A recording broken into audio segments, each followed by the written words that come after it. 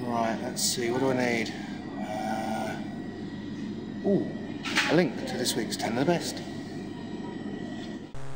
BASF has started operations at its expanded plant for the production of the biodegradable plastic EcoFlex. Expansion of the existing plant in Ludwigshafen will increase production capacity for EcoFlex from 14,000 to 74,000 metric tons per year. At the same time, BASF will ramp up compounding capacity for EcoVio, a derivative of EcoFlex. MacFarlane Labels have launched an innovative packaging system, Reseal It, in the UK with Walker's Shortbread, the worldwide brand famous for traditional Scottish products including shortbread and oat cakes. Reseal It is a reclosable and tamper-evident labelling system which allows consumers to easily open products and reseal them again without the fuss of cling film or storage containers. This ensures freshness and pack integrity while helping prolong the life of the food product resulting in less food waste. The Just Glow brand of shampoos and conditioners, specially developed by beauty experts for the Nordic market, are being capped by 50mm Zeldisc multi-cap dispensing closures supplied by Zeller Plastik of the UK.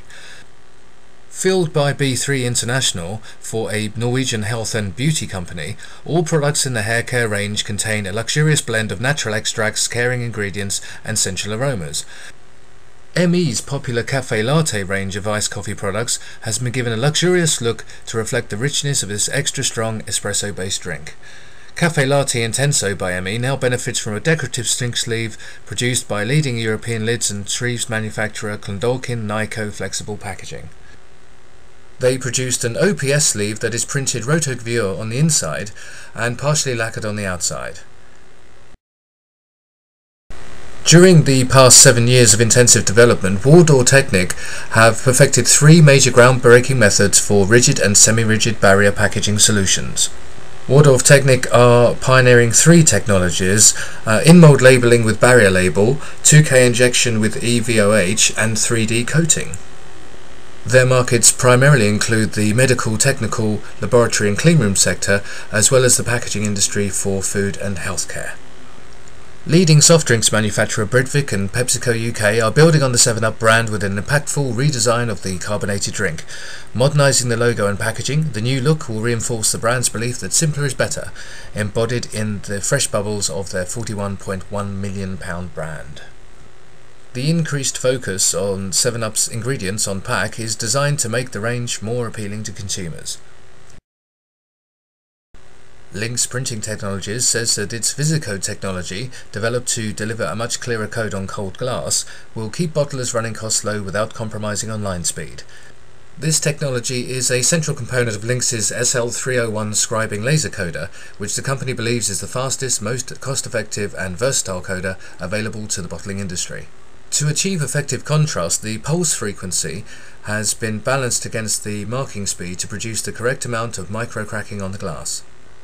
Logopak has supplied PepsiCo's Little Island plant in Cork, Ireland, with two specialist labelling machines to identify pallets of soft drink concentrate as they are loaded by robot.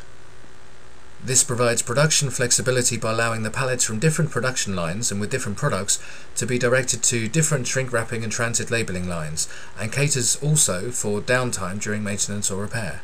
The two Logopak 804T machines operate within the safety cage of the robot palletizers. As part of a worldwide initiative, Bobst has reduced the price of over 10,000 spare parts and consumable items, some by as much as 40%. The parts cover a large range of regularly used items. In the UK, a new stock management system has enabled many of the critical parts to be held and dispatched directly from Bobst's UK facility, saving customers valuable time. That's Neil Jones, Managing Director of uh, Bobst Group UK and Ireland, and this is Pia Badzoing, who is the new business development director for the UK and US for Blue Marlin. She's moved there from PI Global, starts next week at the same time as the new London creative director Simon Pendry. She's particularly strong in international markets and it's going to drive Blue Marlin's integrated offer to prospects across the Northern Hemisphere, eventually relocating to New York City.